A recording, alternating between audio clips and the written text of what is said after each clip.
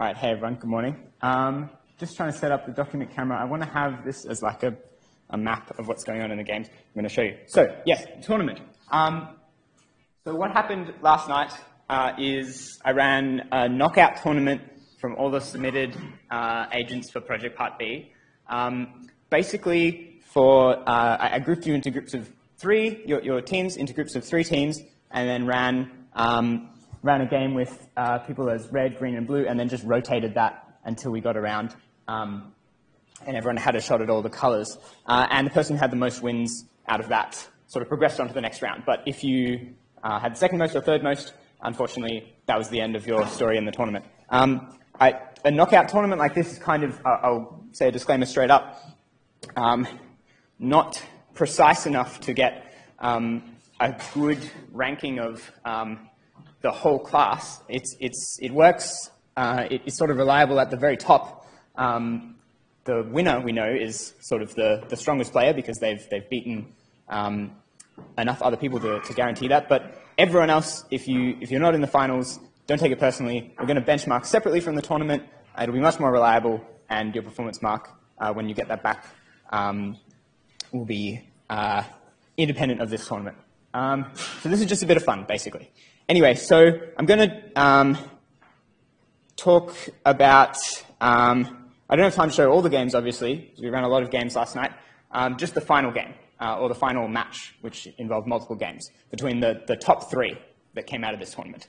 And um, I'm going to start by giving a special mention to the top five teams, and they were uh, these teams. So, if you are the team ZW, or Bayesian basilisks, or checking system, or uh, how do you say this one? C3P0024 is how I've got it, but I know it's C3PO and comp 3024 kind of meshed together. Um, I'll just call it C3PO. Uh, and yin and yang. This, these were the top five. We got to this point. The numbers didn't quite work out to have three at the end, so I ran a round robin between uh, these five, and the final was then played between um, ZW, C3PO, and checking system.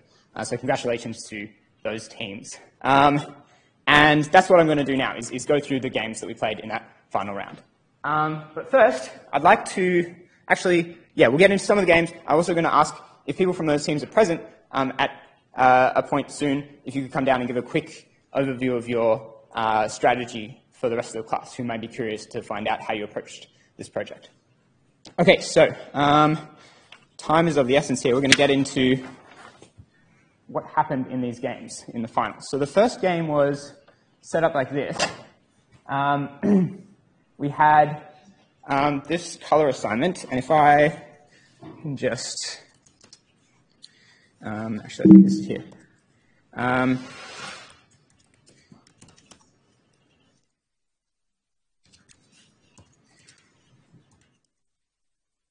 oops. Um, so what's the command? This one.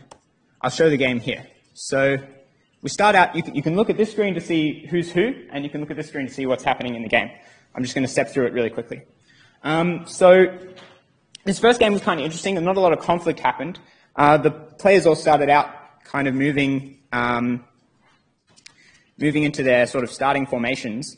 Um, and there wasn't a lot of conflict. This game wasn't super interesting, but basically red kind of went around and the other two kind of clashed against each other and blocked each other, and red was able to finish first, which was uh, Team ZW. So congratulations there, one point in the final. Um, and that's game one. okay. Uh, we need more games, obviously, to get a to get a, um, a reliable result. So we move on to with a different color assignment. I've just rotated the colors around um, for game B. So um, let's see, this game was slightly more interesting actually because we actually had some conflict. Um, so I started to notice that um, C3PO's initial strategy, they're, they're playing red now, um, was to kind of split up into um, kind of two different directions, whereas ZW sort of kept together, and um, they're playing blue in this case. And checking system kind of had, um, they kind of expanded out broadly, and then we're looking for trouble, it seems. Um, anyway, this, we have a bit of conflict here. Um, so there was a bit of a fight um, on two fronts. In the end of this fight, um, it seemed that not much actually changed in the distribution of pieces, but the locations changed. And in particular, green checking system is sort of won their way down to the bottom of the board near their exiting section, and, um, and they're going to use that to good effect. Um, let's see, they've got one exit, they need one more.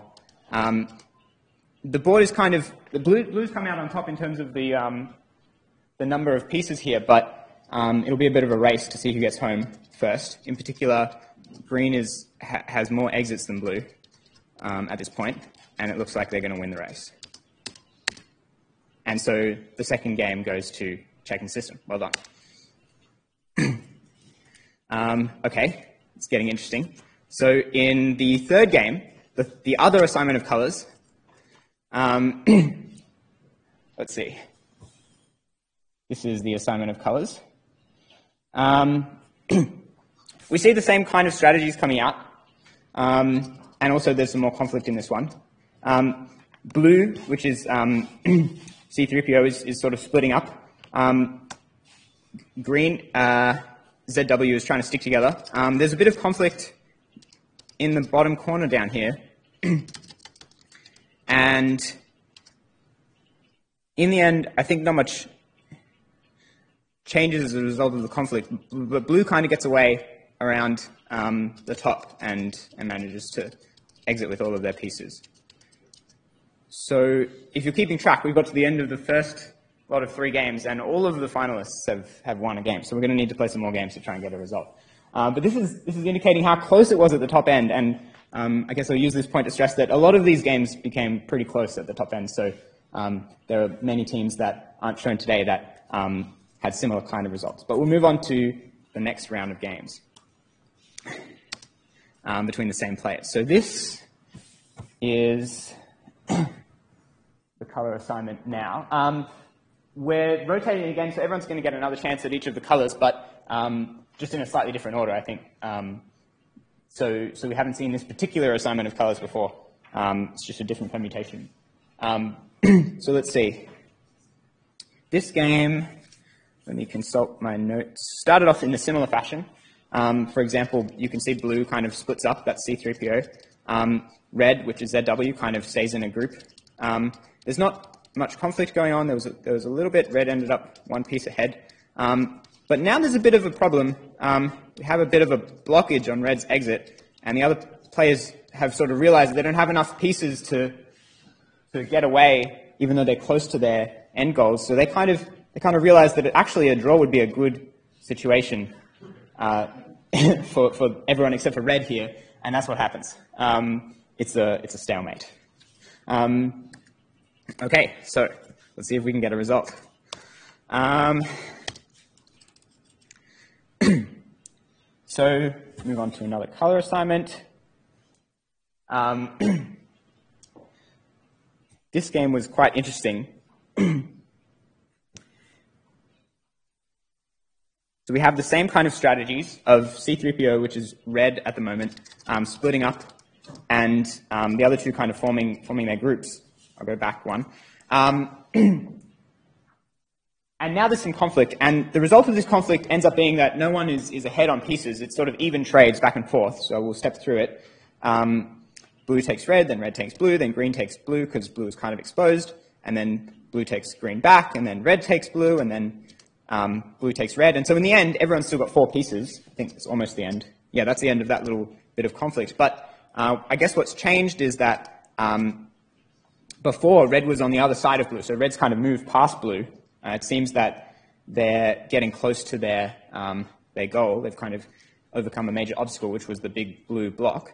Um, green is also quite close to their goal. Um, I can't remember how this one ends. Um, okay, so green kind of is able to um, move down the bottom with, with their whole pieces as a team, um, and I think that's going to allow them to make the four exits first. And one more, and they did it.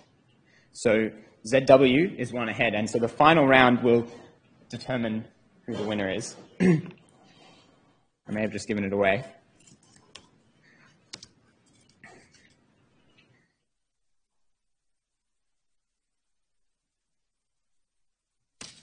This is the only color assignment that we haven't tried. Um, so let's see what happens. Um, we've got some splitting up by green. Um, we've got forming a group by blue. The players are quite good at avoiding conflict. This was something that I, that I noticed. Um, we've had a little bit of conflict, but they're, they're not making any silly moves. They're not throwing any pieces away. Um, in the end, in this case, I think blue is just going to get around and it will be fast enough to finish before the other two do. Which means that ZW is our champion team. Congratulations. So, um, the last thing that we'll do then is, is to, um, to get the winners here, the, the, students that are behind these artificial intelligent, uh, artificially intelligent agents the game of Chexers to come down and give us a brief description of what they've done. So, um, so let's see. So uh, we could do it in any order, I guess. Um, but how about checking system? Uh, Natalie and, and Turn here. Um, yep, come down the front, please. Give these guys a round of applause. Checking system showed a really strong performance throughout the entire tournament, and um, as you as you just saw, nearly nearly won. So congratulations. Um, would you be able to describe for us just briefly your broad approach to the to the project? How does your agent work? Yeah, so we decided to use uh, a search system called uh, Best Reply Search.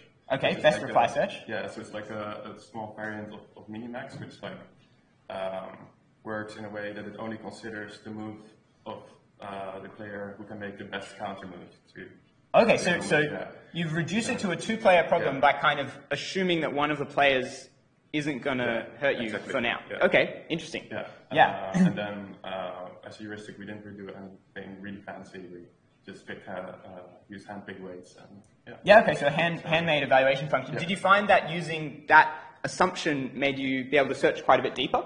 Um, yeah, and it was easier to use uh, alpha beta pruning. Right, because so, it's two players now. Nice. Yeah. Well, well done. Yeah. Congratulations. We've got um, yeah, we've got a certificate for um, you as well. How about um, people from um, C3PO? Thomas and Xavier, do you guys want to come down?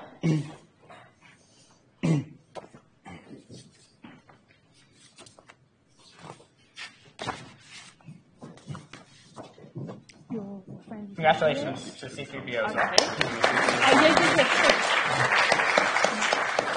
Um, so could you give us a brief, come up to the microphone, could you give us a brief overview of how C3PO works? Is, is that how you say it, C3PO? Yeah, I don't know. C3P0024? Yeah, C3P0024. There we go, all right. I think like, so we use Minimax and then considered everyone to be against us. Like the paranoid kind of reduction? Yeah, yeah okay. And what we did was um, we only, like, in our representation of the board, we only, contri- like, searched with pieces that were relevant. So like we had a distance measure and like if pieces are on the other side of the board, we like removed them from our search.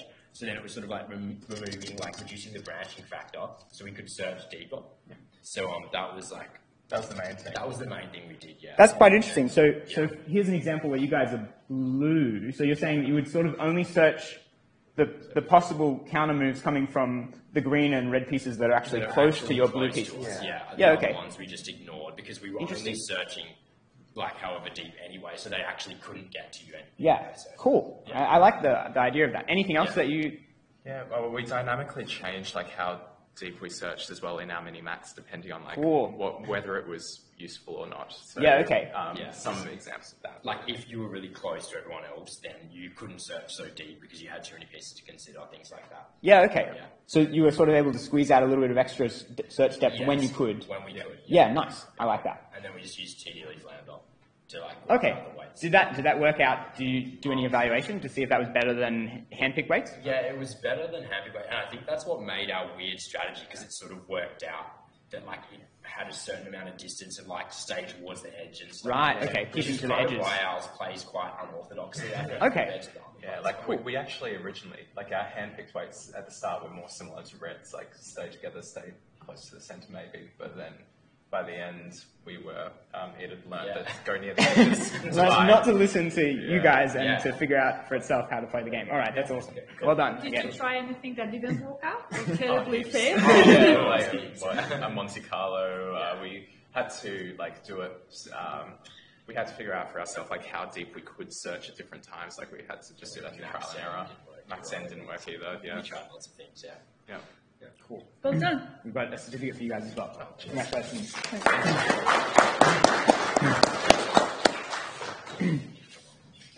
There's another. Uh, There's another one. Sorry, I didn't have to go. Oh, sorry. Yes. This one. This one. Yep. yep. Thank you.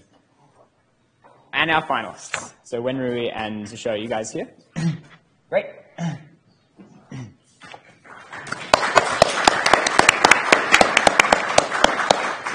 So congratulations on winning the Chexers tournament. Um, tell us how you did it. Uh, what I did is uh, six step maximum search for Step the, six. Yes, step six. Okay. and by uh, I haven't prepared anything. No, that's okay. Just I, for the evaluation function, I focus on the team cooperation, and uh, I also evaluate the danger that next step will be. For example, if I, uh, for example, next step will be very dangerous, I will avoid that, and I uh, design to uh, show the danger by considering two colors. If I will be attacked by two colors simultaneously, it will be very dangerous, and I will definitely want, don't want to do that case. Right. If I can just be attacked by one, and I also can attack it back, or maybe move to my goal, I will be accept that.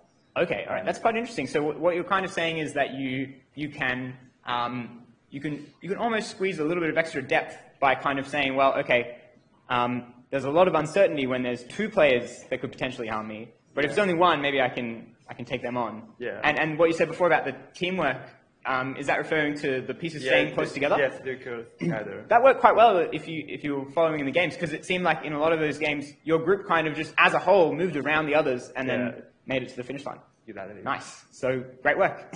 Yeah. Well done. Should I give your friends a certificate to you as well, or we can keep it and contact them? Uh, maybe you keep it. Okay, sure. All right, cool. Um, so that uh, concludes the project. Um, obviously, we'll, we'll have marks back to you um, as soon as possible, and, and et cetera, et cetera. But um, I hope you all enjoyed uh, learning to play check- Chexers and teaching your computers to play Chexers as well.